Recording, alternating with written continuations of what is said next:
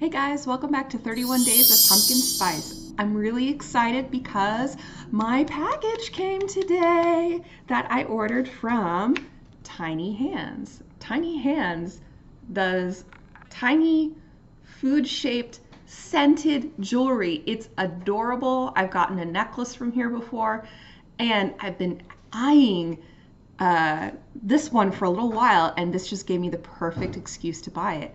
I got the pumpkin pie necklace. So let's check it out.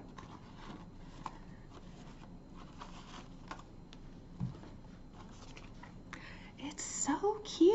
It's got the little dollop of whipped cream on the top. Let's see, does it smell good? It smells like a Yankee candle. Oh, it's got kind of a sweet caramelly uh, spicy smell. Oh, this is so exciting.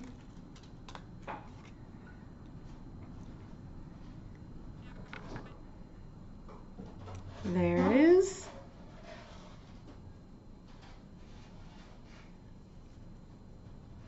They've got a couple different options on the chain lengths. You can get like a longer chain or a shorter one. This one's a little bit longer. The other one I have is like sits right here. But this is a good length because I can pick it up and smell it. Oh my gosh, this is so great. I am really happy I got this. It looks adorable.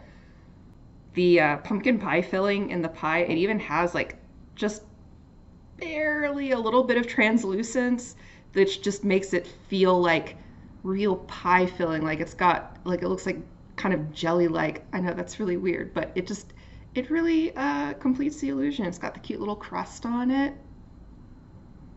And like I said, it smells like Yankee Candle. It's kind of like it's spicy, but it's got something else to it, caramel, or it almost kind of makes me think of coffee too.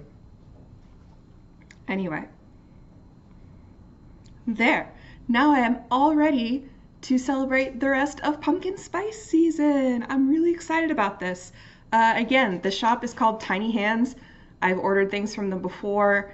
Um, they've got all kinds of different themes, like they've got candy and cakes and cookies and pie, and they have some savory things, like I think they have pizza and uh, hot dogs or something. They've got like these little waffle necklaces that look like they have butter dripping down the side. It's really cute stuff. So uh, go check it out.